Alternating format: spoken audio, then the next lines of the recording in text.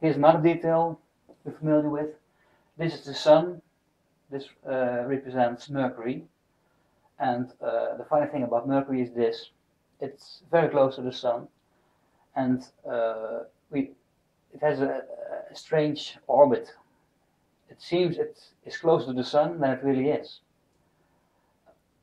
Well, here's the problem. We are, uh, we've learned to calculate uh, the force of gravity from within the core and the outside, but in reality, um, mass relays gravitons. So uh, gravity radiates more from the surface, and that's why the orbit of Mercury is a bit strange.